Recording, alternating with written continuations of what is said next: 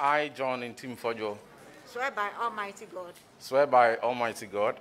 That the evidence I shall give before this committee. That the evidence I shall give before this committee. Touching the matter in issue. Touching the matter in issue. Shall be the truth, shall be the truth, the whole truth, the whole truth, and nothing but the truth. and nothing but the truth. So help me God. So help me God. Thank you.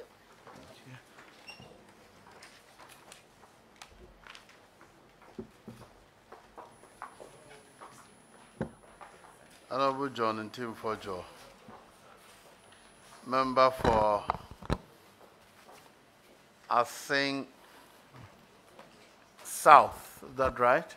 That's correct, Mr. Chairman. I, I I always confuse the south and the north because uh, coming from Bekwai, I come upon the north before the south, so I always assume the south first.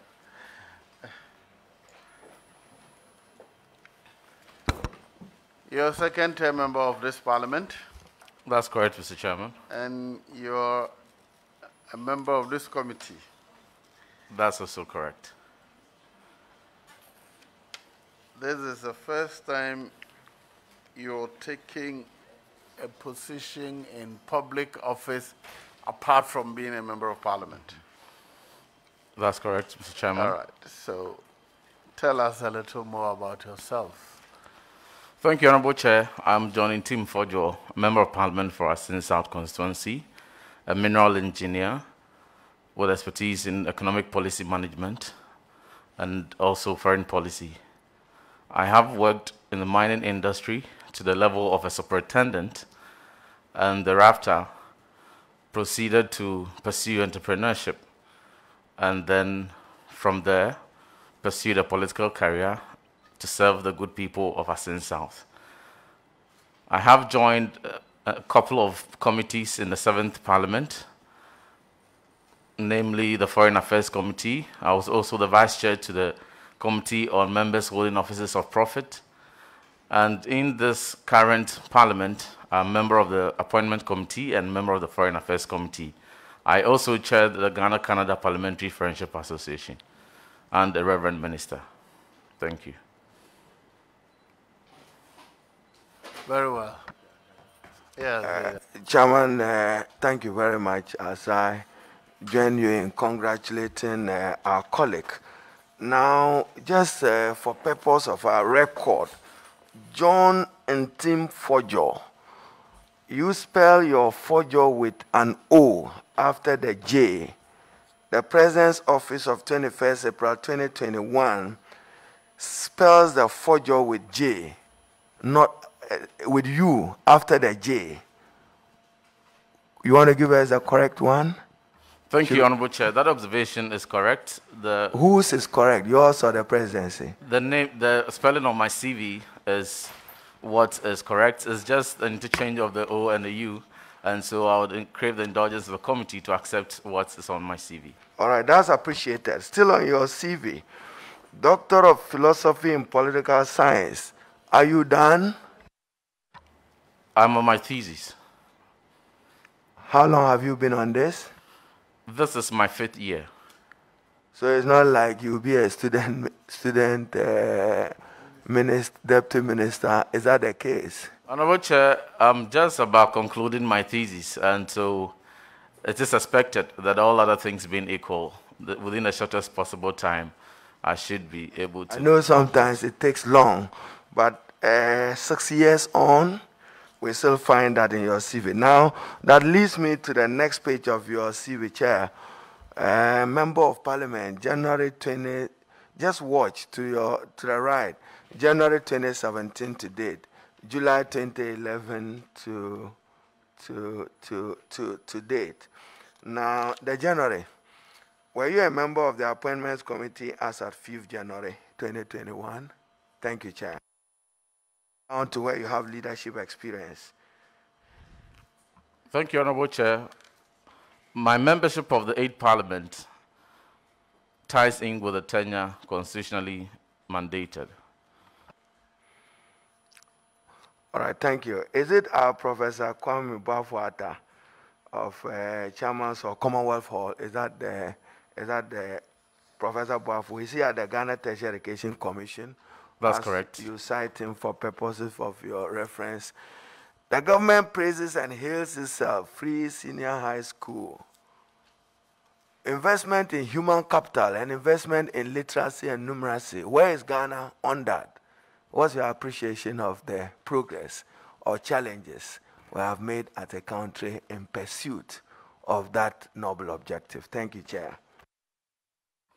Thank you, Honorable Chair.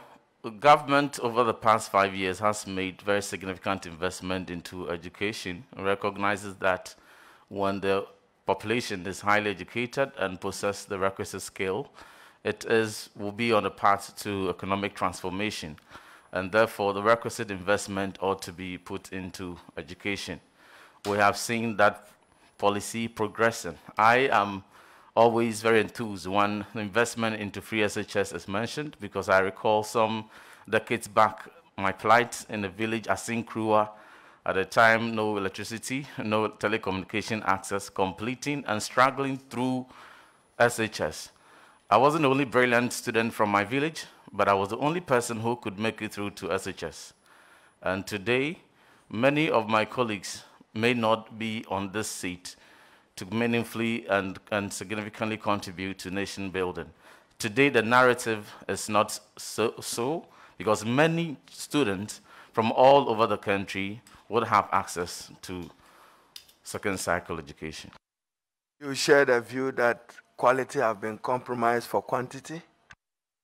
Honorable Chair, I do not agree to that assertion. Why? Considering all the reports available, the performance, annual performance report of the education sector, also the WAEC reports that we have seen, and comparative studies that are available indicate that education outcomes are improving. For the past five years steadily are improving. Quality is not compromised. Recently when the 2020 WAEC report was announced out of 465 students in west africa who scored a1 in all eight subjects 88% of them 411 to be precise were ghana free shs graduates for the first time over 50% of our students from Ghana who sat the WASSCE passed all core subjects. And all the figures are there for the various years to compare. And it's, it's a very huge gain for the country. It is a narrative that the country must be so proud of, and for which I do not think that quality has been compromised. All right, thank you very much. Back to your CV again. I believe uh, page 2, Member of Parliament, January 7th, 2017 to January 7th, 2021. Is it January 7th? Just for guidance. 7th, And you have chose, yes, to January 7th, 2021. You said so in your it's CV. January 6th, please, Ah, okay, so indulge chairman and then do what is appropriate. Very Now, much so. You have chosen to define key responsibilities of parliament. You see, you are under oath, so you have given this CV under oath. Representation of constituents in parliament and lawmaking. Is that all you do as MP in your CV? Is that all you do as member of parliament? Thank you, Chair. Thank you, Honorable Chair. For the purposes of brevity, I kept it so. Technical and vocational education, in my view, enhances employability. You would be assisting the Minister for Education in reaching out to the training of our young people. What is your take on elevating technical and vocational education? Thank you, Chair. Technical and vocational education form very critical part in the economic transformation of every nation. It is upon this backdrop that His Excellency Nana Dankwa Akufo-Addo has strategically envisioned that by the, by the end of 2030, even the science to humanity ratio will have to be improved and transformed from the current 35 to 65 to 60 science, technology, engineering, uh, and then 40 humanities. And so we, we have on record many investments that have been put into TVET transformation. The recent bill that was passed, the Pre-Tertiary Education Act, also goes to give credence to the priority being set to transform that sector. Thank you, Chairman. Name any free senior high school in your constituency and share with us what their challenges have been. Thank you, Honorable Chair. The free SHS, the high schools in my constituency are St. Manso Secondary School, where I attended, Yankumasia Hinkro Secondary School, Adankoman Secondary School, and Insuta Secondary School are all running very well. As and when a challenge comes to my attention, we'll promptly respond. You are not aware of any challenges. They have not brought anything to your knowledge, to the best of your knowledge. Thank you, Chair. Thank you, Honorable Chair. I'm in constant engagement with all the stakeholders running these uh, um, secondary schools in my constituency. And as and when any su such challenge comes to my attention, I would promptly respond. Do they have challenges? None that has come to my attention. Thank you. As the free eh, core subjects textbooks are given, are you aware what the status of elective subjects textbooks are? Thank you, Honorable Chair. At the same time when the four core subjects textbooks were supplied, elective subjects, elective textbooks were also supplied. Uh, core subjects were given to free? students. Core subjects were given to students and elective textbooks kept in the library for reference. So do students enjoy free elective textbooks? Precisely so, Honorable Chair. Elective textbooks are given for free to students of the free senior high school program? That is so, and as I indicated, the core subjects are given to the student for their keeps for the period that they are in the, that particular level, whereas the electives are kept in the libraries for their reference. Why are the electives not given to the students, and what will you do about it if you get approved to the ministry? Thank you, Chair. Thank you, Honorable Chair. I shall interrogate why that is so and at the appropriate time when approved, give a response. Thank you. Yes. Yes, Honorable Thank you very much, Mr. Chair. Reverend Fordjour, congratulations once more. Thank you. My very, very first question has to do with abandoned school projects um, and what your take will be on that and what you will do to assist your minister to complete those school projects. When you come to uh, my constituency, uh, for example, uh, post-COVID arrangements uh, are such that the total numbers in the classrooms are supposed to be managed and controlled. But we have a number of school projects uh, which um, are halfway through but have not been completed. Some have been there for more than 10 years. Uh, and yet we are struggling for space for these children to uh, study in a very good atmosphere. What would you do uh, to remedy this situation? Thank you, Honorable Chair. Government, you agree, is a continuum, and so it is important that every project that is begun by one government is continued. It is for this reason that President Nana Addo Dankwa Akufo-Addo has time and time again emphasized his commitment to complete every project started in any regime that is still at various stages of completion, in addition to new projects that he's undertaking and investing into. There's a comprehensive report here from FPMU detailing the statuses of every project and the status at the appropriate time. We may have the time to share the details. Uh, but the commitment I'm giving you is that all my briefing indicates that all the projects that were started that at various stages of completion are being are, are, being pursued and investment put into it. As a matter of fact, some are completed. Um, just singling out e-blocks, for instance, 129 at the time of 2016 were completed. This precedent has pursued and continued, and indeed, as we speak, 39 of them have been completed, the rest at various stages of completion. Thank you very much, uh, Honorable Chair. Um, again, what is the policy direction of your government to end the menace of schools under tree? I am asking this question uh, on the background of a news item published by Ghana Web on the 1st of June 2020, where Ofosu Bato MA Basic School pupils study under trees. I know that this is not limited to Ofosu Bato MA Basic School. Um, we understand that with all the gains government uh, would be making with free SHS, we would need the foundation to be strong in order to build uh, on that foundation with a free SHS. What is government direction as far as removing schools under trees at the basic level concerned?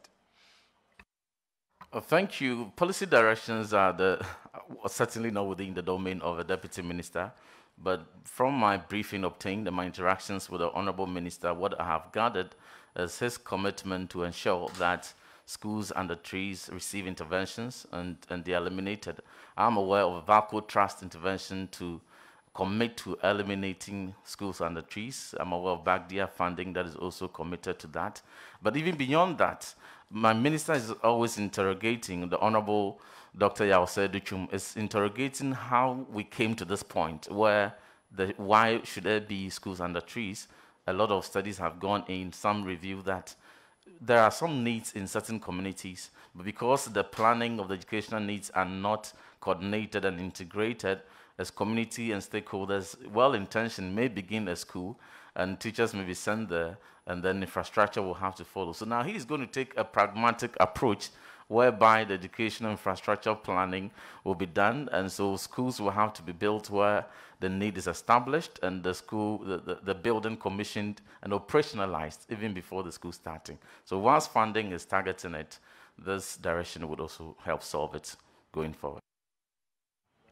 Now, my very last question borders on the free SHS. Um, recently, when we were on recess and we were touring the, uh, my, I was touring my constituency. I came by young men who were in this JAMA group doing a JAMA and by themselves. Free education, no classroom. Free education, no classroom. Oh, in Medina. Oh, this happened at, we had at uh, Damfa in Medina. no, no, no, no. So, um, uh, well, that's just by the way. Now, my, my question is that on hindsight, because deputy minister, no, deputy minister is a policy making position. Um, oh, yes, definitely, you are part of policy making. Um, before a policy is introduced, there are three key things that we should be looking for funding, personnel, infrastructure. Do you think that, on hindsight, this policy could have been implemented differently as it done is being implemented now? Thank you, Honorable Chair.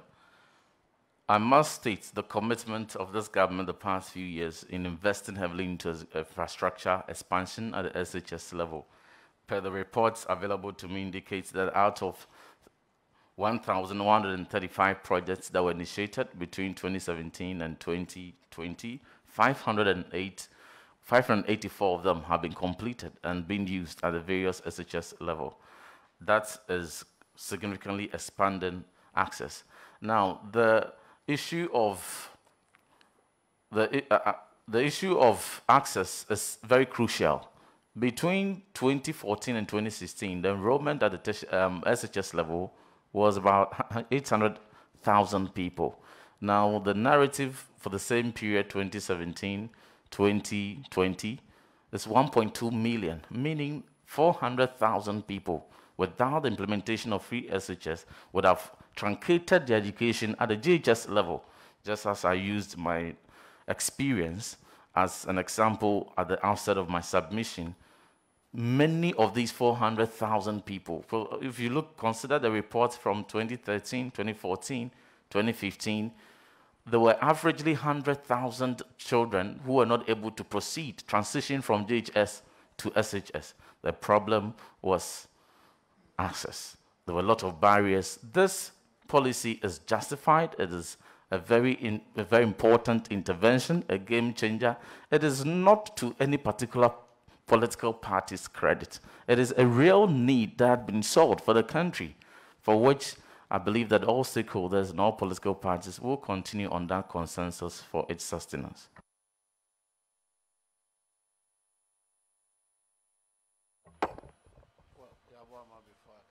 Yes, Honorable Yabama.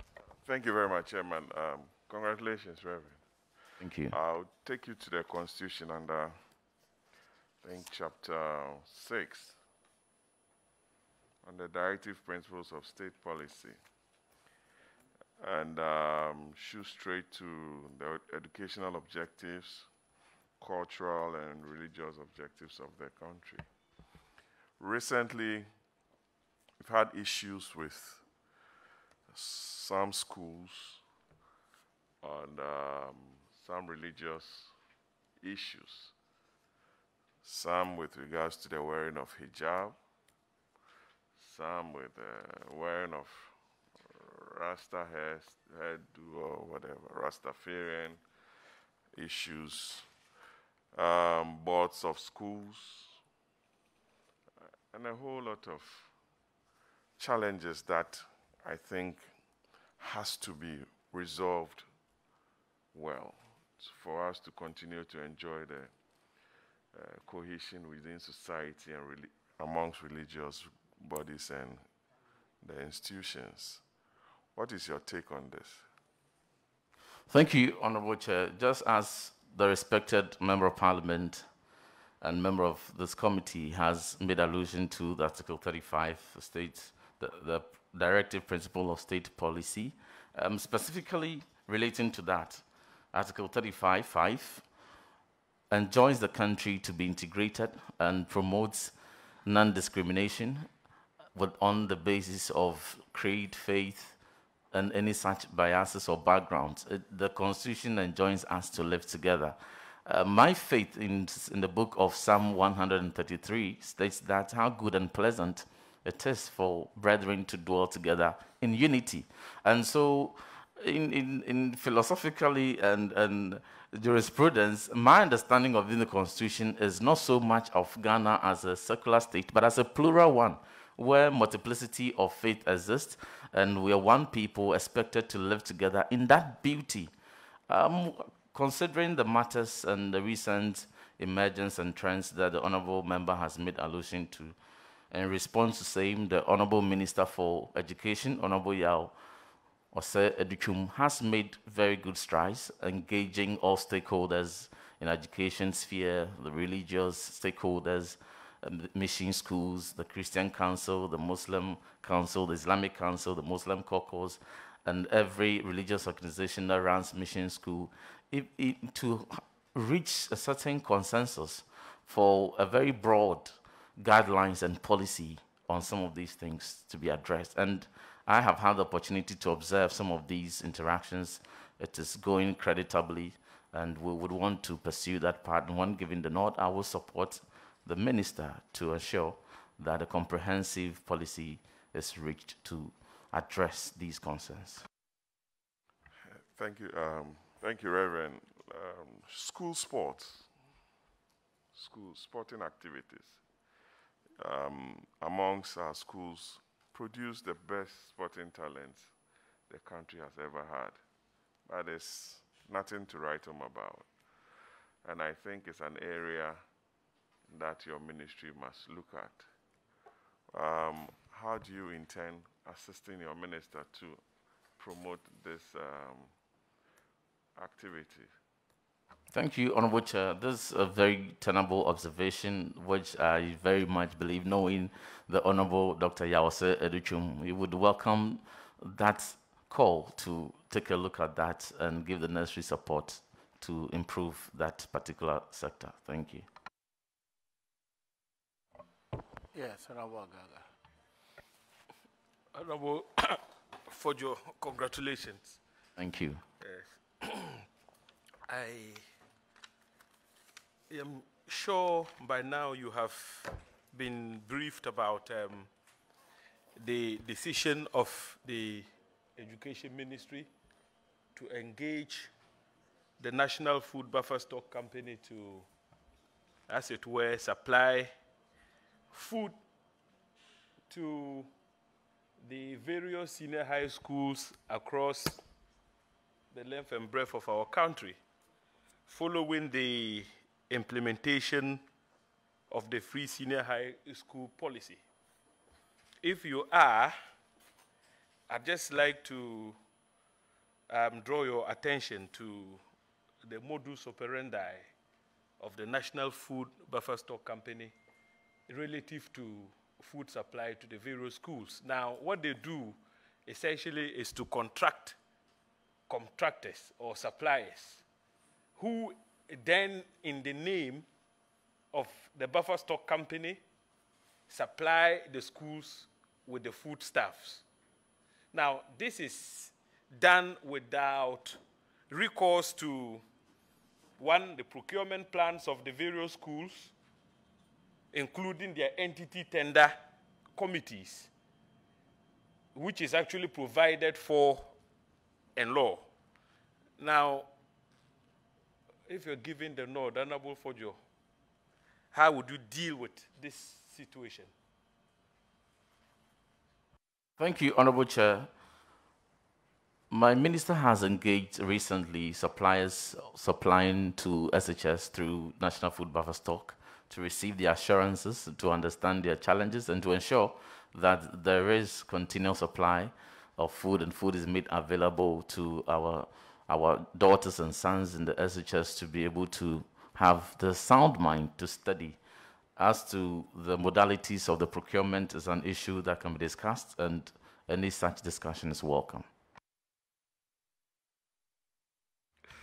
Anyway, thank you very much. Um, there is also this issue, and uh, oh, it's not a difficult question. It's a question. This, this, this. Sorry, Honorable Fordjour.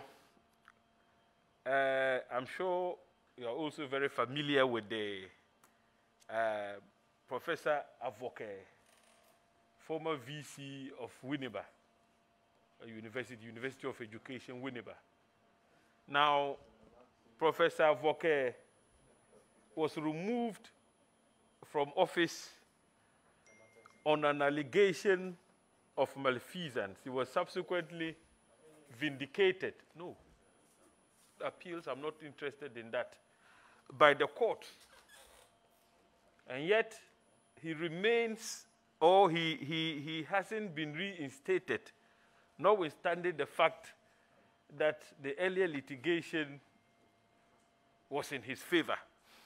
What is your opinion, I mean, regarding this situation? I mean, within the context of social justice.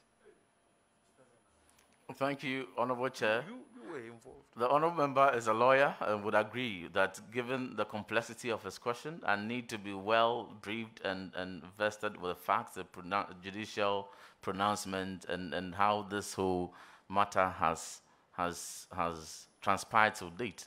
Upon that, I will be able to give an informed response. Thank you. Very well.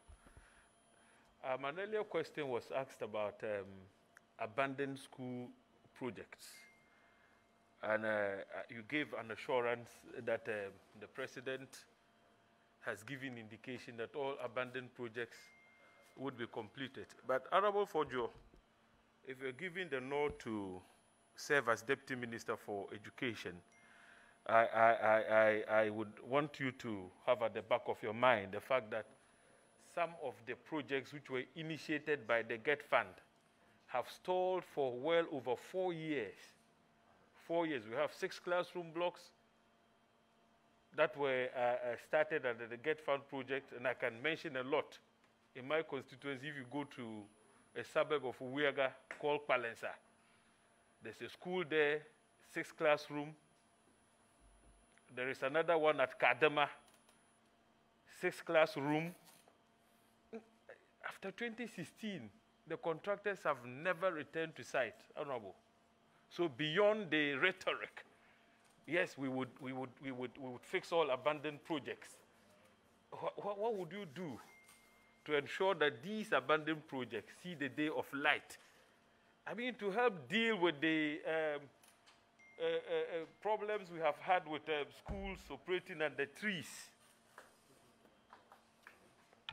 Thank you, Honorable Chair. I think I've uh, earlier on addressed the matter to do with schools and the trees, and in specific response to the, the respected honorable members' inquiry, Palansa and Gadema schools will receive, I can assure when I'm giving the nod, will receive immediate attention to interrogate what, why, what has accounted for that and the necessary remedial action given. Thank you.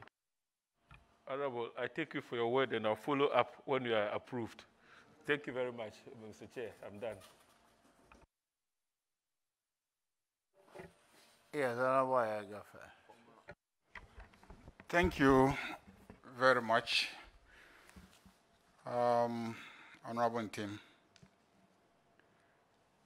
I believe I was in your situation many years ago, sitting where you were sitting as a deputy minister nominee. Um, at the beginning of this year, I raised the issue of the financing of tertiary education um, in the context of COVID alleviation. But if you look at Article 25 of our Constitution, it says clearly that higher education shall be made equally accessible to all on the basis of capacity by every appropriate means, and in particular by progressive introduction of free education. So our constitution envisages that at a certain point, tertiary education should be free. Um, do you foresee during your tenure that you will be able to do anything to reduce the cost of tertiary education in our country? Thank you, Honorable Chair. That commitment will certainly be beyond the remit of my mandate. Uh, I wish I could have given that assurance, but that is certainly not within the remit of my mandate. But what I do recall is when a similar question was posed to the Honorable Dr. Yaw Osei Adutwum, um, the concern, he acknowledged the concern, the need, and, and assured that he would engage with the um, SLTF uh, Student Loan Trust Fund to fashion out how some expansion can be explored to, to mitigate the plight at the tertiary level. So that much can be pursued, and that much I can tell. Thank you. The student unions have made a strong case that COVID, in spite of all the problems that it brought on us, also exposed um, us to the setup where tertiary education can largely be delivered online, and many of them tend to receive tertiary education online. And the person-to-person contact has been reduced. And therefore, in their opinion, cost has also been reduced in terms of the deliverer, that is the university. But then it has been increased in terms of data students having to buy bandwidth and etc. to receive the delivery but then also it has been reduced to them in terms of accommodation. They don't need to go to school to live there to receive tertiary education. In the light of this development, don't you think that we should be engaging the tertiary universities, especially the public ones, to get them to reduce their fees?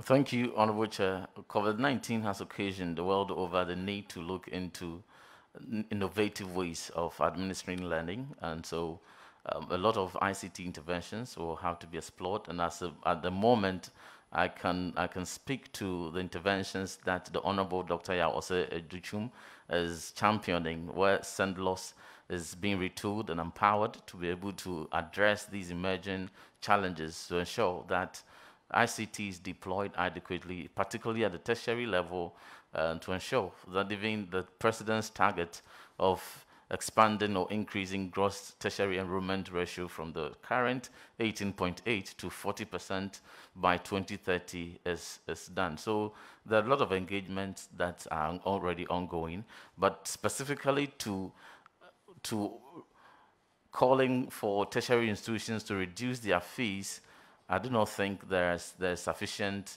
facts and information available for me to make a decision on that. Thank you. You have taken time to look at the facts and the information, and um, you, do, you don't think that there's a need to reduce the cost of, I mean, the fees that students pay in tertiary institutions. Is that, is that what you're saying?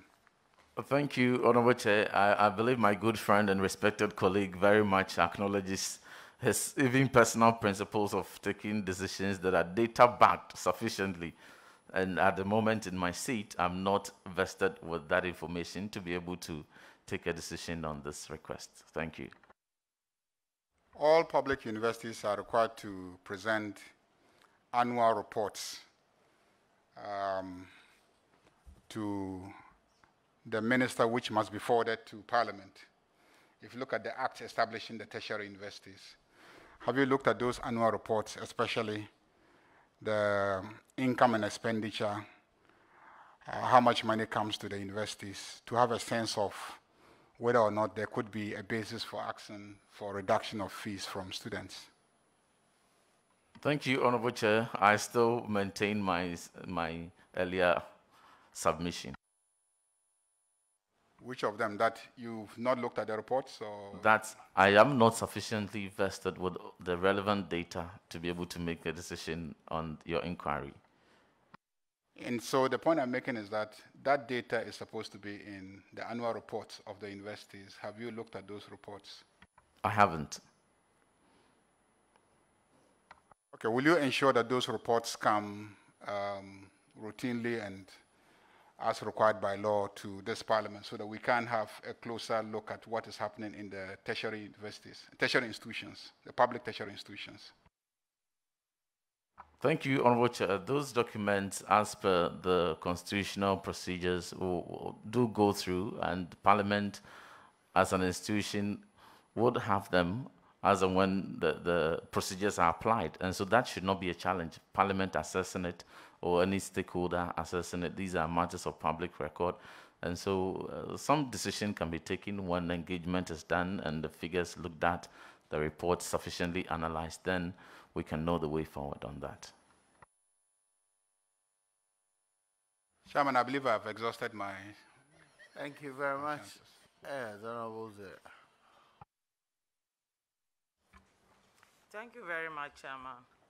Good afternoon and congratulations, Honorable Reverend Fordjour. Thank you. Uh, my first question takes us back to some earlier questions that were posed. And um, I want to share with you some data regarding schools under trees. Presently in Ghana, we have 2,417 schools operating under trees. Of this number, 1,167 are primary schools, 989 are junior high schools, and 261 are kindergartens. When we fast forward to the senior high school, the issue of whether we are running a double track, triple track, gold track, what are the other tracks? Platinum, silver, all has to do with the issue of infrastructure. At the end of the day, it's the lack of infrastructure that is making us introduce and implement these tracks that some of us still are grappling to understand. What does it tell us as a nation? That the issue of infrastructure in the educational sector remains a Herculean task, that government has to begin to take pragmatic steps to resolve the issues of infrastructure. The Honorable Agalga alluded to some abandoned school projects that were started by the previous government of this country, the, the NDC government, I have one sitting in the Salaga North constituency. I share borders with them at Kwalbi since the elections of 2016. No contractor has returned to that site, and yet we are grappling with in infrastructure. What would you do, together with your sector minister, to ensure that at least this issue of infrastructure is eliminated once and for all? That students can go to school at whatever level in this country and study in comfort as a human rights issue. Thank you very much. Well, thank you, Honorable Chair. It's interesting the, the, the interest of the Honorable, uh, respected Honorable Member in adding more minerals to the tracks already existing, platinum, silver. These are not tracks existing in the, in the but on, on a more serious note, to the tenable concerns raised, it is for the purposes of expanding infrastructure across the various levels of education, which 2007 infrastructure were commenced between 2017 and, and, and, and now, uh, and 933 of them have been completed. The rest under various stages of completion. I have earlier given a submission to the effect of, the, of President Akufo-Addo's commitment to ensure that every infrastructure that is begun, regardless the regime or irrespective of the regime that started it, is continued. Uh, a comprehensive debate about um, projects at various stages of completion as to who started it will, will, will bring about many revelations because there are many projects that were started by various regimes and are still at various stages of completion, many of which have received intervention and completed, and others also. So the debate is going forward. Now, if free SHS had not come on the challenge of infrastructure, one of the barriers, the 400,000 children would have been home, truncated. So the school of thought that until we have sufficient infrastructure, 400,000 of a productive population should be sacrificed on the basis that there is not adequate infrastructure now, then it triggers some form of from alternatives. Okay, so if the, num the, uh, the number of infrastructure available, the capa total capacity available, if we have to use same to serve 1.2 million students, what will be the tenable way out? What are the best practices out there that have been deployed? even in, in targeting such challenges as and when they arose in other jurisdictions. And then we learn from them. Then double track, as complex that when it's explained, it seems, is, is, is something that is very important and is something that cannot be done away with at this point in time unless a decision is taken uh, on consensus at the national level that 400 to 500,000 students will have to be sacrificed on the altar of infrastructure constraints. And the question will be whose child will, will have to be drop out, whose child is to continue. So we must appreciate the investment put in so far. Considering the steady investment year on year into infrastructure, the target that President Akufo-Addo set at the outset of free SHS that between five to seven years, double track system will be eliminated is on course. And if we are to go this way, that will be eliminated. Just yesterday, my minister, the Honorable Dr. Yaw-Osei Adutwum, gave a firm assurance to the media that between two to three years, that tracking system will be eliminated. But at the moment, it is serving a good purpose. And that is what we must acknowledge. On the issue of schools under trees, I have given the submission again, and I will still be, I will still be humble enough to reiterate that VACO Trust Fund, BADEA, and some other funding interventions have been committed to address that. And my, my minister. Honourable member, I think her simple question is being avoided. There are schools, projects that were started that have halted. She wants your assurance that they will be um, worked on. That's all. Is that not right? Thank you, Honorable Chair. And that assurance will be given again that any project that is at any stage of completion, irrespective of which regime started it, is receiving attention and will be pursued to completion. Thank you very much, Mr. Chair. Honorable nominee, when you look at the Constitution again, Article 34, the directive principle of state policy, contained in this chapter shall guide all citizens, emphasis mine, all citizens. The cabinet, political parties, and other bodies and persons in applying or interpreting this constitution or any other law and in taking and implementing any policy decisions for the establishment of a just and free society.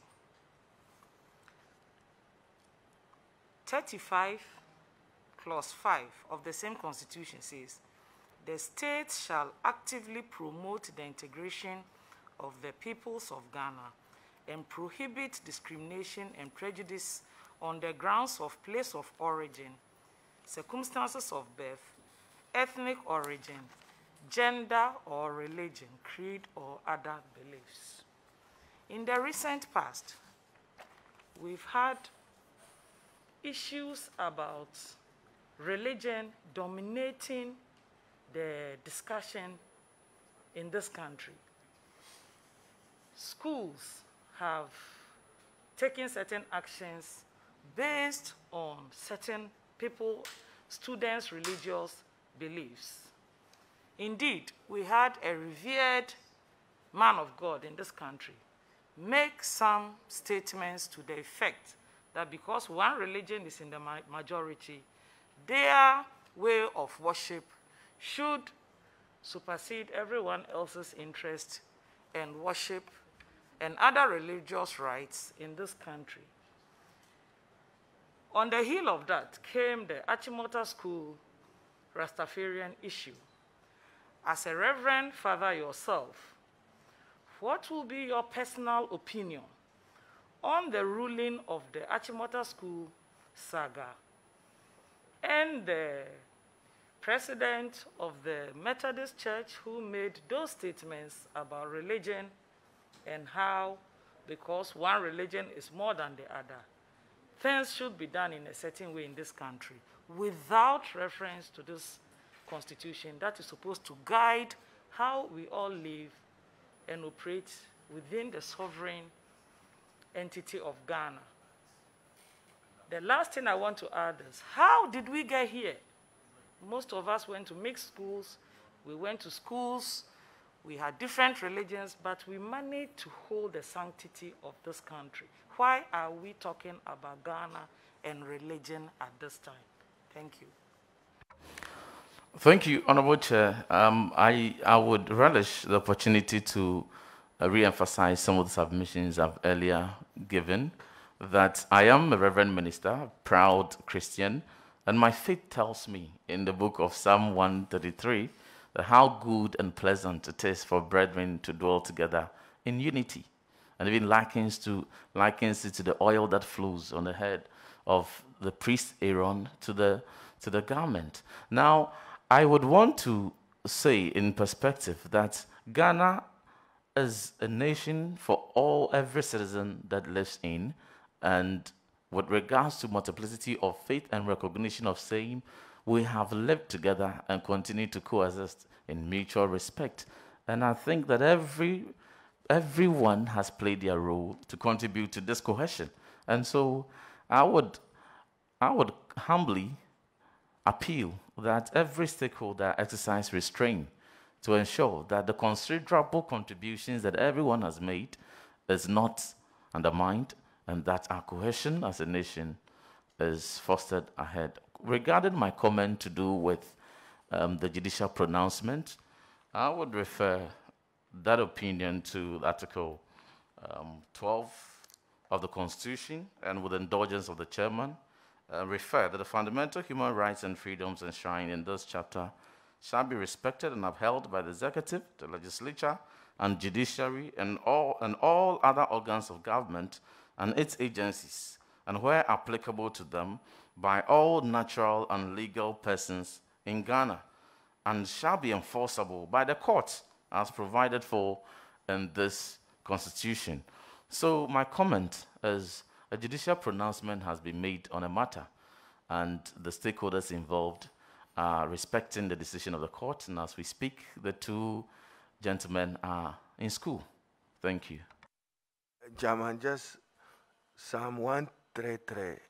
You didn't say verse 1, you didn't say verse 2, you are reverend. You just said Psalm 133. Where are we? We are following you closely. Just go to the first verse. Uh, only verse. Okay, 1331. Thank you, Chairman. Thank, thank you very much, Mr. Chairman. My final question is, Mr. Nominee, Student Loan Trust Fund, what are the modalities for applying for the loan?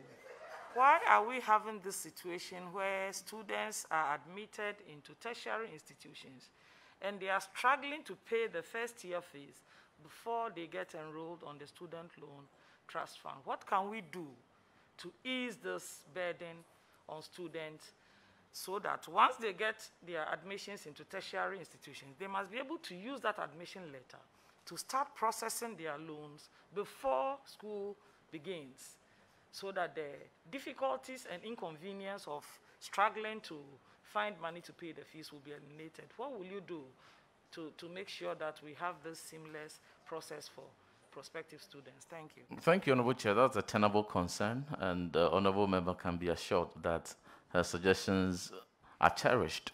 And in, in confirmation of my Honorable Minister, the Honorable Dr. Yaw Osei Adutwum's commitment when he appeared before the committee that he would engage with Student Loan Trust Fund to streamline some of these processes to ensure that the concern the honorable member has raised are adequately and timeously addressed. Thank you. Very well, thank you. Yes, Nilante.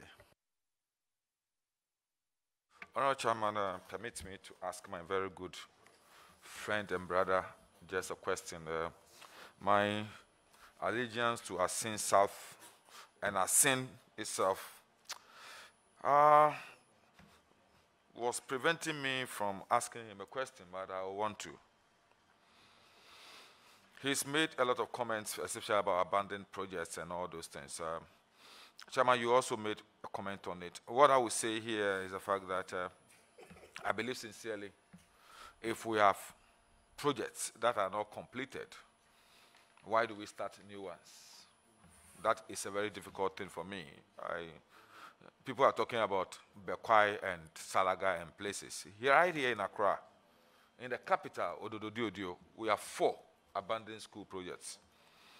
So that is a difficulty. But my question is, if I should ask you objectively to, to tell me one thing working with the free SHS and one thing not working with a free SHS, what will you say?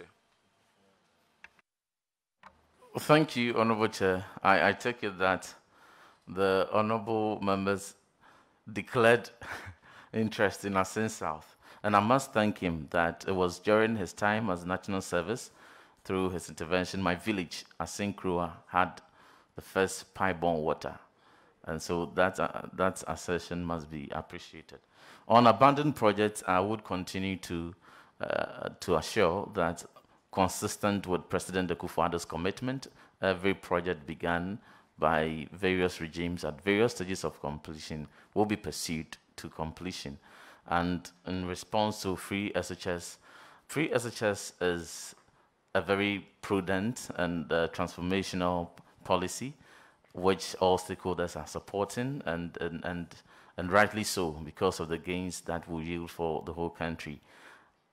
My background as economic policy analyst, every policy that is planned and, and implemented in any part of the world has in itself, you know, monitoring, evaluation, and reviews, formative reviews, such that the objectives will have to be kept on track and parameters that are deviating are also kept in track. And, and all those cycle is playing out just in free SHS. So we'll continue monitoring and any feedback that comes up that needs quick attention will be looked at and addressed. Thank you.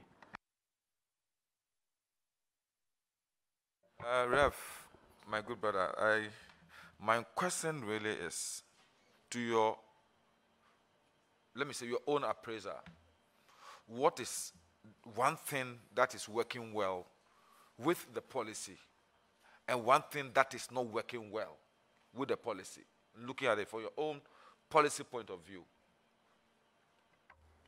The key policy objectives had been access, quality, equity, and relevance. And all these indicators available are pointing creditably to the fact that access has been increased. In, and, and all these four pillars are aligned to the attainment of SDG 4, quali- access to quality education for all. And in all these counts, quality education has not been compromised. And so access has been increased from 800,000 enrollment to 1.2 million. As we speak, cumulatively 1.6 million. Equity, the, the, there was a portion in the policy that made 30% allocation to elite schools for students or pupils from public schools. That has ensured that a child from a village like mine would be able to have access to a, a school like Aburi Girls. And recently, there's a story, a very inspiring story of a young lady who swept six out of the seven awards of Aburi Girls. And this was someone who benefited from this 30% equity um, policy. On In terms of relevance, all the uh, indicators are out there in terms of quality. All the indicators are pointing to the fact that when over 50% of our students who sat WASSCE are passing in all core subjects. And you know, so, in brevity, the outcomes are speaking to the fact that the objectives are being achieved and that we must sustain it. Thank you. Yes, and I, I, I just want to continue. So, uh, there's, not, there's nothing that is not working with the system. Because all the, I agree, access, quality. What is one thing that you think is not working well? Uh, thank you. There's, thank you, Honorable Chair. There's been a number of discussions going on, and my minister has engaged stakeholders. One of the issues that came up, which is very important, had, had to do with improved communication. For instance, the development levy component of the fees that were hitherto paid by parents as have been absorbed by the government, have been paid and disbursed. But the stakeholders thought that because there was no narration specifically you know, relating to it, they thought that they needed extra levy, for which were, I mean, that, that was pointed out. So going forward, every such release that will go, will go with the narration for them to know the actual allocation for development projects. So stakeholders will have that transparency. Again, a concern to do with prepaid meter system for SHS, which heads of schools have had cause to complain, the minister has promptly responded and taken steps to ensure that they are all done on postpaid and the bill ferried to the ministry for prompt payment so that that burden of initially pre-financing is removed. So some of these are, I would call it feedback that is coming, that, that's receiving prompt attention, and these are things that continuously will be monitored. Thank you. Okay, Chairman, um, I will plead my, with my colleague to get the recent Joy News um, program that assessed the free SHS so that he will be appraised um, a lot before he takes up full uh, mantle of the office is given. It will help. It will help him a lot with his system. My next question has to do. All of us are happy about the fact that many of our children who otherwise wouldn't have had secondary education now by the system we will do. But what happens after free SHS? Have we thought about what happens after free SHS? Have we assessed the number of children who get stuck after free SHS? Have we looked at that one?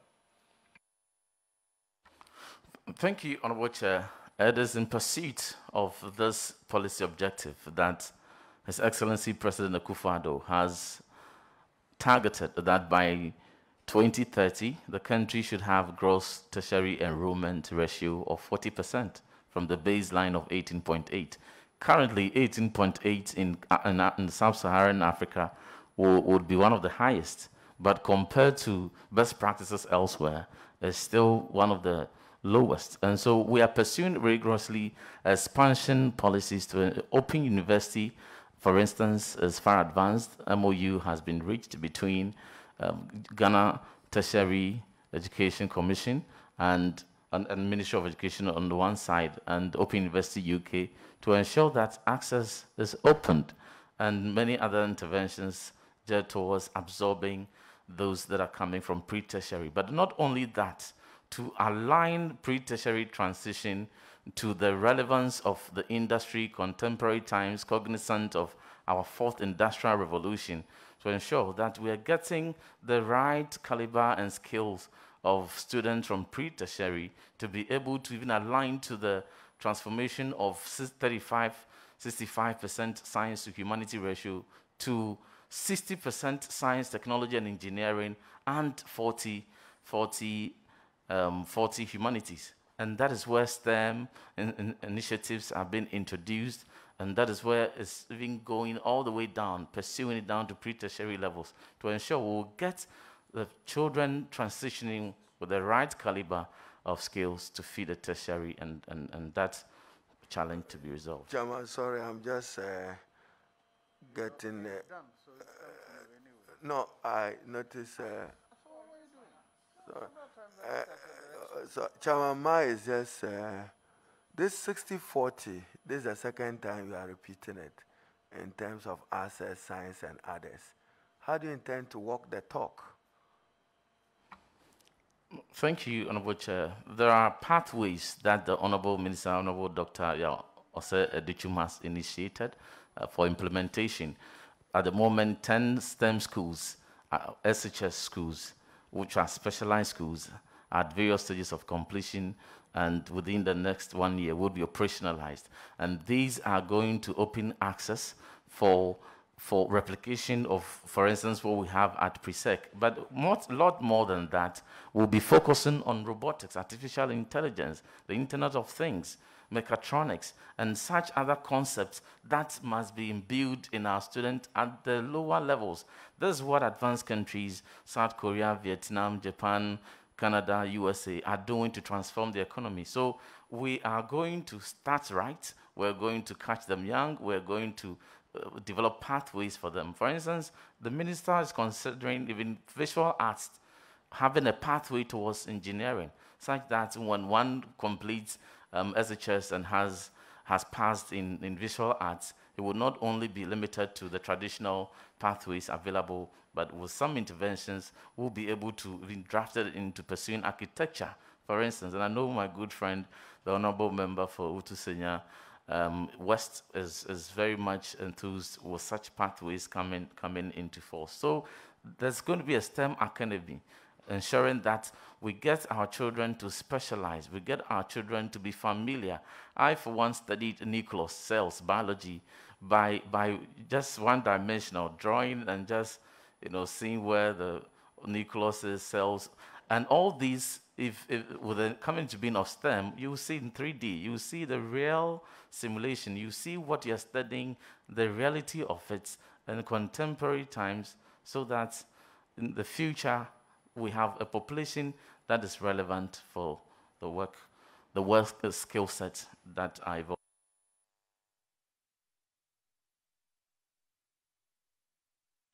All right, thank you. Uh, Mr. Chairman, honorable, honorable, nominee, congratulations to you. Thank um, you. Starting with your CV, um, Doctor of Philosophy, PhD in Political Science, Foreign Policy Specialization, University of Ghana, Legon. 2016 to date. You've already answered uh, questions in relation to that. Have you had any publication yet since you started? Have you done any publications? Not yet. I'm, I'm still on the thesis and at the concluding stages. So when that is done, then publications will begin to arise out of that. Well, I thought uh, students are encouraged to uh, do publications uh, along uh, the line. Anyway, but um, let's discuss the issue of enrollment in relation to um, free SHS. It seems to be the um, greatest achievement of free SHS when it is being discussed.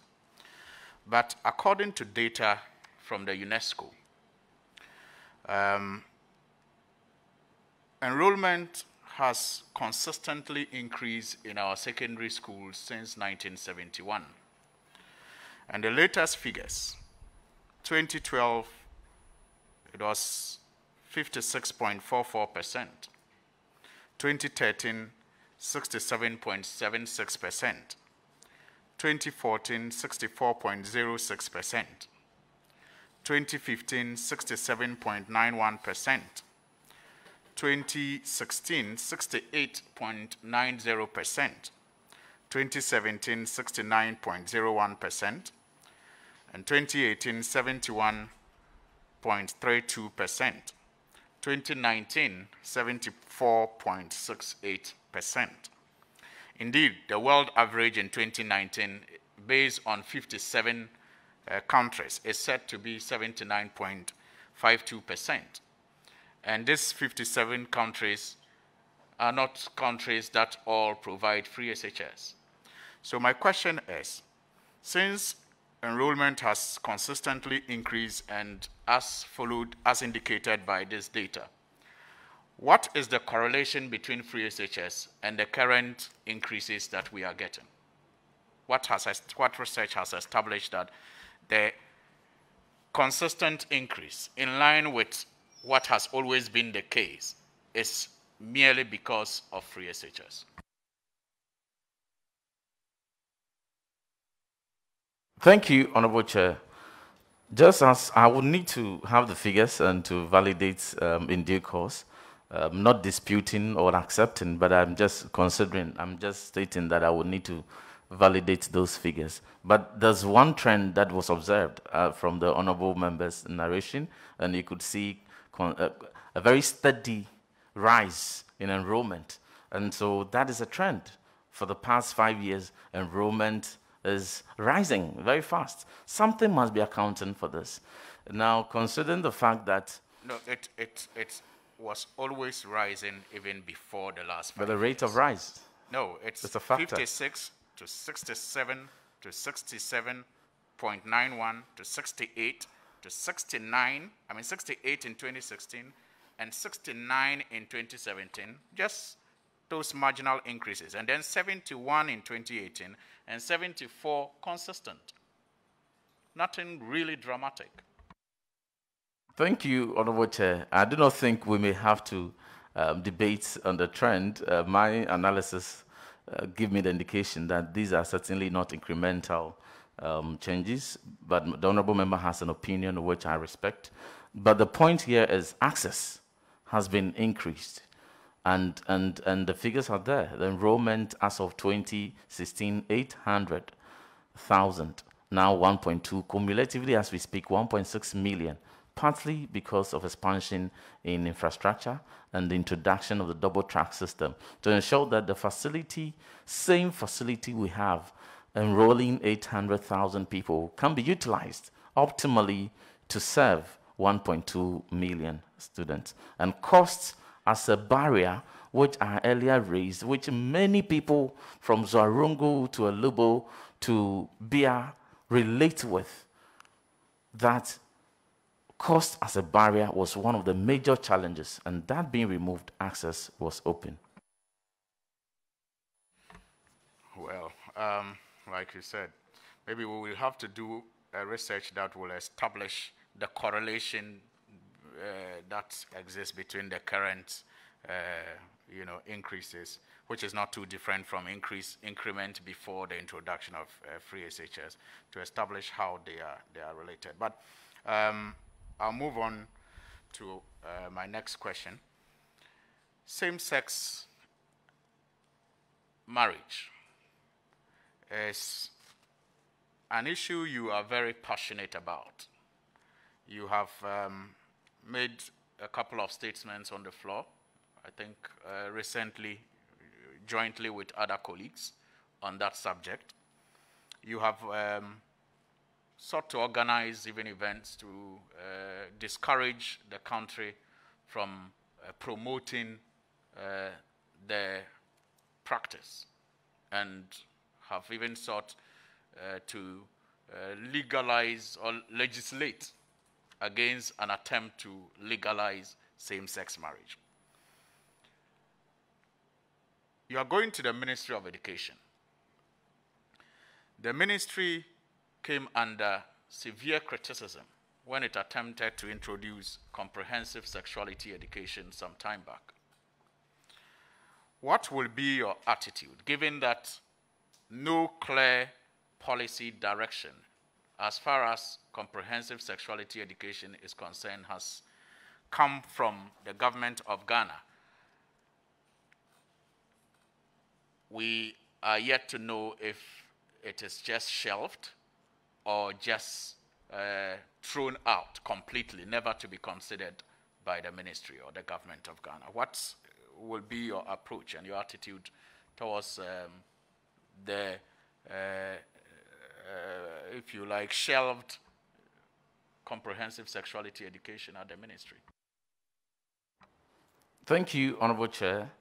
My faith is resolute on, on some of these stands and in cognizance of the position of the Constitution and in line with the norms of our people, I am always proud to advocate what is in line with the people that identify with these four backgrounds that I've outlined in respect of LGBTQI matters. Specifically to the assertion by the honorable member, I have i am very keen on these studies, and I've done a lot of extensive studies between the year 2001 and 2009, and also 2017 and to, and to date. And I can tell the Committee on Authority that never have I come across any attempt by the Ministry of Education within these periods I have mentioned to introduce comprehensive sexuality education.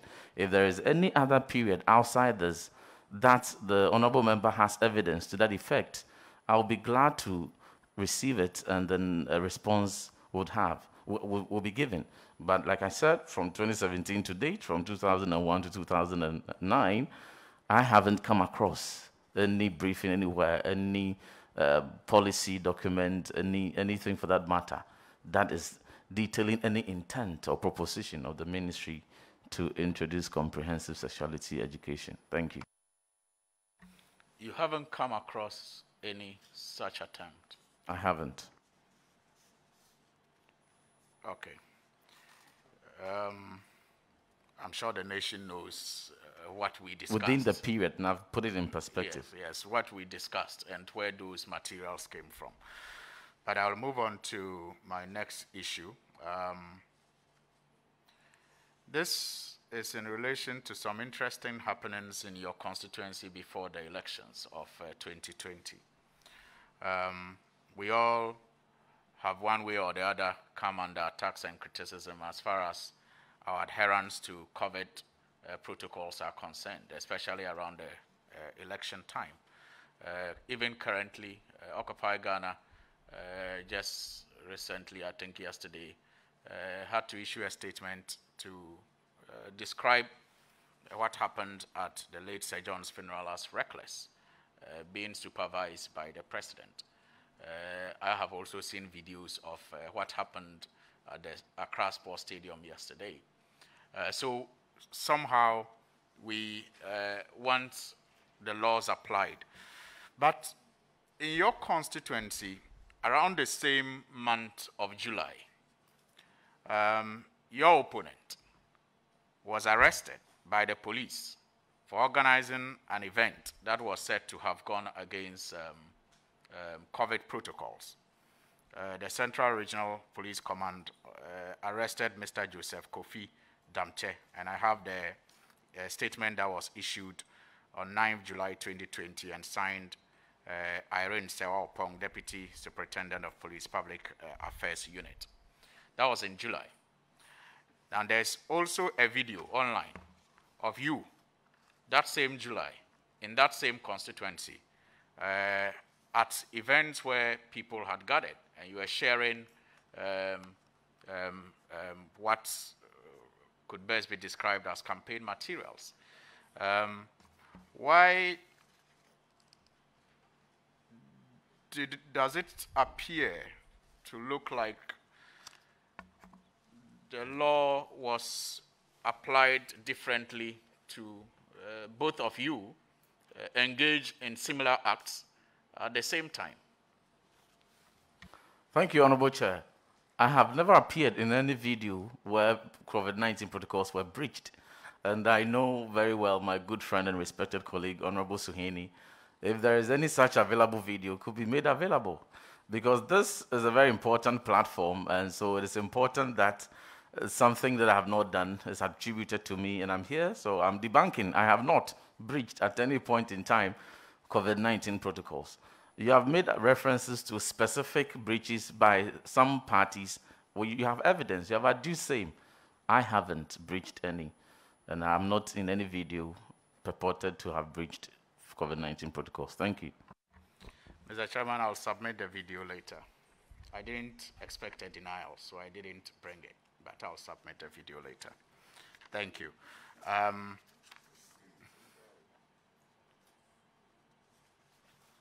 and maybe that's uh, my last question, but just to also note that um, the honorable nominee may have to consider some publications, as I know. Uh, publications are one of the milestones in, in, in these, uh, because uh, uh, this is a social science project. I mean, that he's engaged in, as far, in relation to his doctorate of philosophy. Thank you. Thank you. Just, just to state that the fact that publications have not been done, that's it's not an, um, an indication that not, no work has been done. There's extensive work in many spheres I could, I could share, but not none has been published yet, just to make that point clarified. Very well. Yes. Thank you very much, Mr. Chairman. Congratulations, Thank you. Honorable.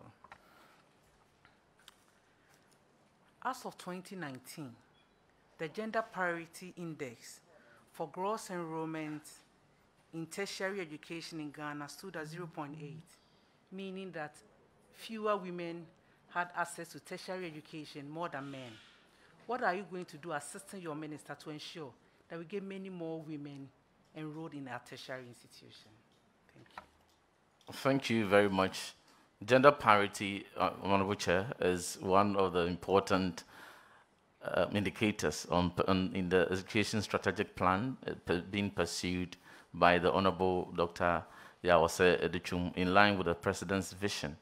And so that concern is tenable, and I will lend every relevant support to my minister in pursuit of same. My last question will be posting of teachers to rural areas. There's been a lot of work done on why teachers refuse posting to rural areas.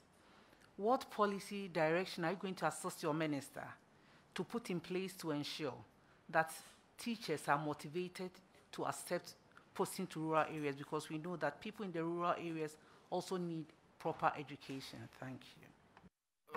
I must, Honorable Chair, I must thank the Honorable Member for bringing this matter up. If not for the commitment and dedication of teachers who accepted posting to Assin Krua at a time when there was no access to electricity, no access to telecommunication, without access to ultra-modern education infrastructure, I would not be on this seat today.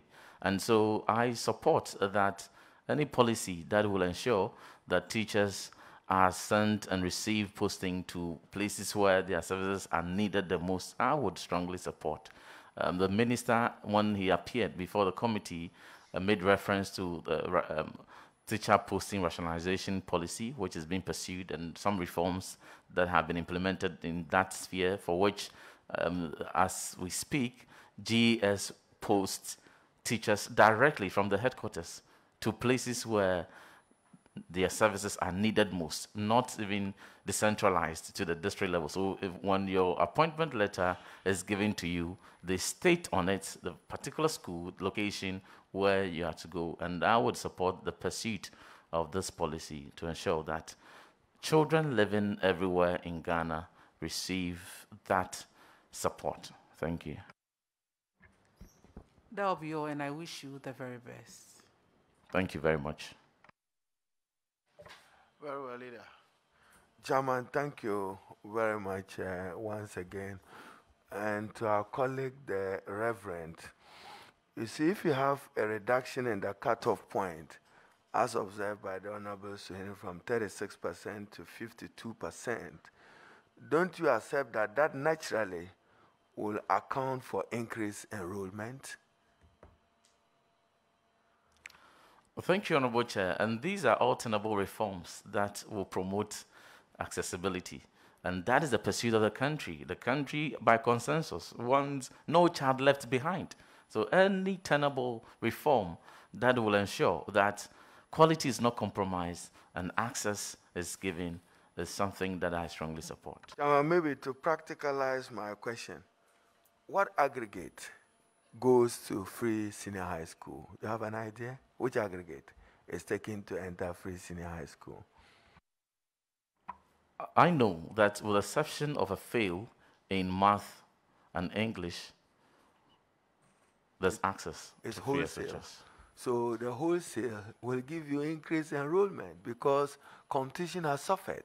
And that is what we are saying that compromise probably have been compromised. Quality has been compromised. You see, if you get aggregate 18, 20, 22, in the age of competitiveness, there will be a cutoff.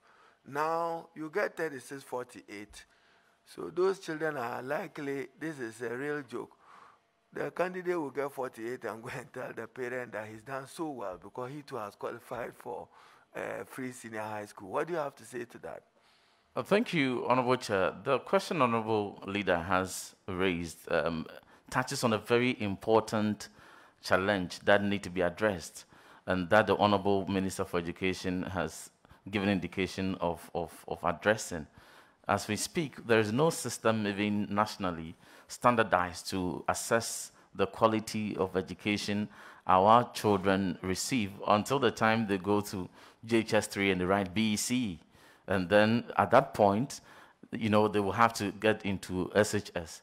Any intervention that was required even prior to entering into SHS would, would not have been given or identified if that was the terminal level. And so there's this national standardized test that the Honorable Minister is pursuing to ensure that from P2, P4, P6, there's a standardized test that is administered across all the schools in Ghana to assess the level of lev- learning poverty, the level of literacy, numeracy, and where interventions are required. For instance, one is administered in P2 so that we have a broad level of um, competencies and skills of each student or people and their challenges. Interventions Thank- are given at you- P3 thank you very much. and Chairman. reassessed at P4.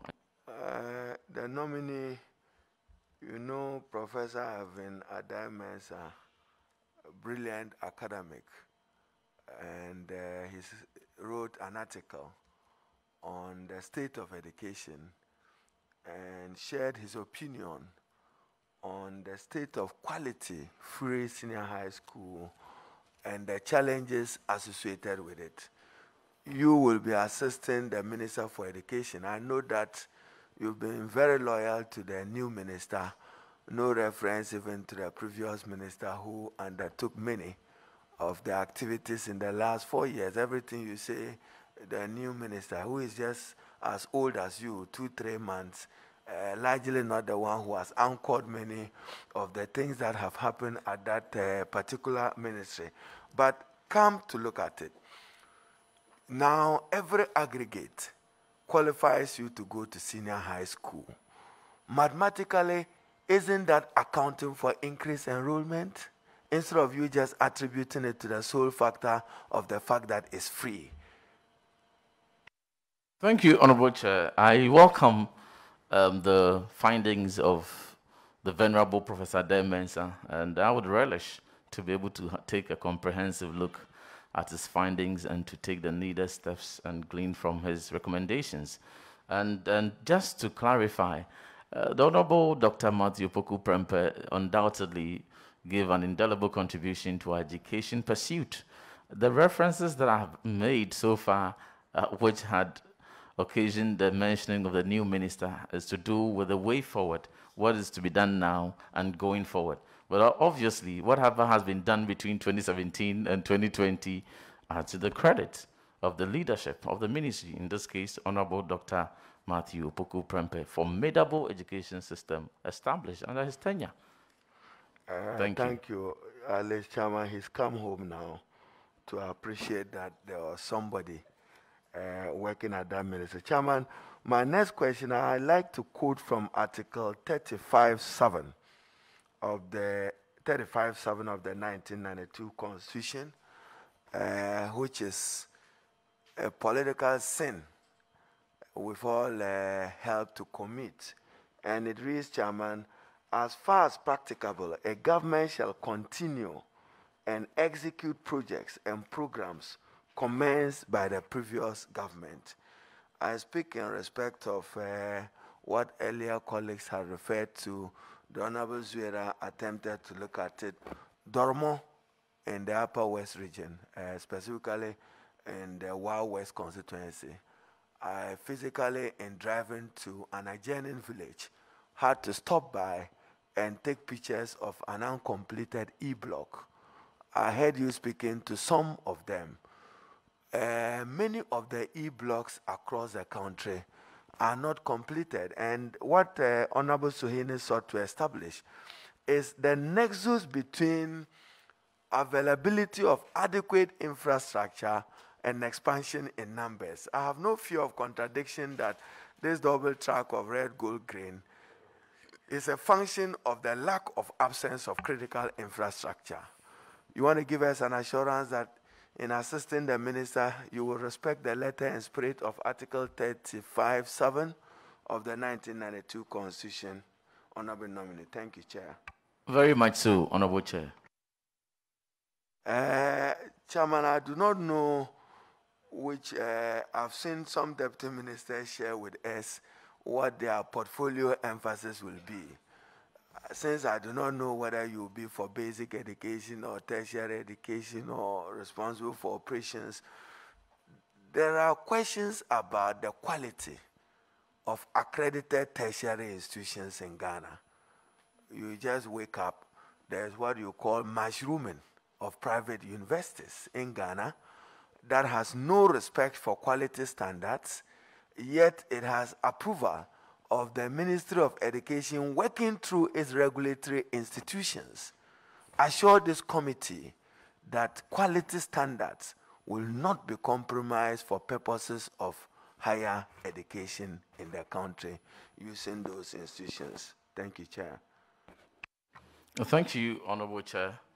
Uh, as the Honorable Leader has acknowledged, I'm yet to be approved, and so I'm yet to know my schedule.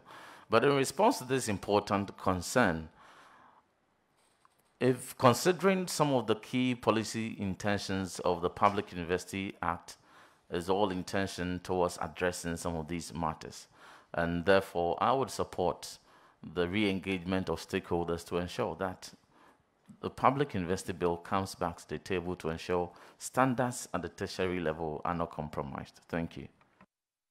And Chairman, may I refer the nominee to Article 25.1 of the 1992 Constitution, which states, and I quote, all persons shall have the right to equal educational opportunities and facilities, and with a view to achieving the full realization, and Chairman, this is my emphasis, that right, basic education shall be well, free. Honorable Chair, I'll be glad to go along with the Honorable Leader. Honorable Article. Reverend, I'll go slowly. 25.1a is my emphasis. And this is my notion. You may be hearing it for the first time. It's my notion of the word progressive. When the Constitution says in 21, 25.1, basic education shall be free, compulsory, and available to all. So that level of education I'm not too sure whether Ghana has achieved 100% free compulsory universal basic education. So you haven't gotten it right yet at that foundation level, and you are already, uh, my word, don't be offended, hastily implementing a free senior high school when you have not achieved compulsory basic education. What do you have to say to that? Thank you very much.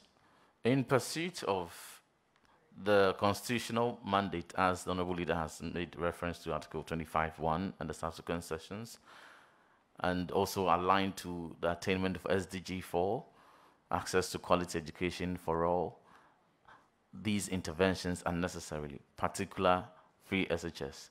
There is considerable gains made at the basic level, and for which attention ought to be received also at the secondary level. If the concern for um, universal free free universal basic education is tenable, which I strongly associate with, then it is equally tenable to look at the cycle sustained upwards. And so that Chairman, so like I have said, my observation may be a national conversation on it. My notion of progressive would have been for the country to attain free compulsory universal basic education, then leap forward. But whilst we are still found wanting with schools under trace, lack of teaching and learning materials at the basic level, literacy and numeracy, not adequate training for the foundation level of students, we are at the epoch level of a, a free, a free uh, uh, senior high school. Probably for your reading again, Professor Jangma, who used to work with the IEA, also has some shared strong views on this particular matter. I know that you are interested in foreign policy. And on the floor of parliament, I've been reading some of your answers. UN resolution on the two state resolution to Palestine, Israel. Where do you stand on it? Thank you, Honorable Chair. I stand on the resolution passed at the UN. Thank you. You share the view of a two state resolution to the crisis? I share the view as passed at the UN, which Ghana has subscribed to. Thank you. Will you be surprised if I quote your words when President Trump uh, uh, declared a certain position?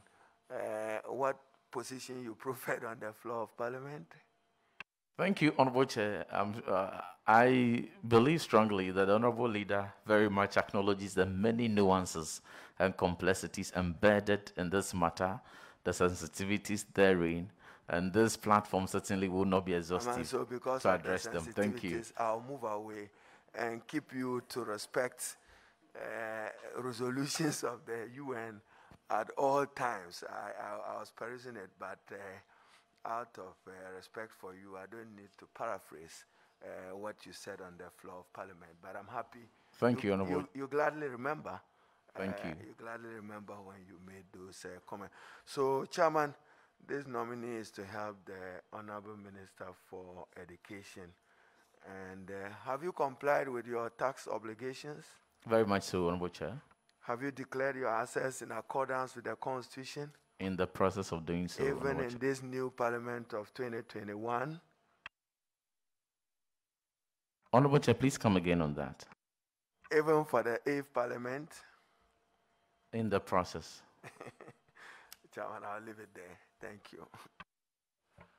Honorable Reverend Ntim Fordjour, we thank you for attending upon the House to answer questions. I have no more questions for you. You're discharged for now. Thank you, Honorable Chair.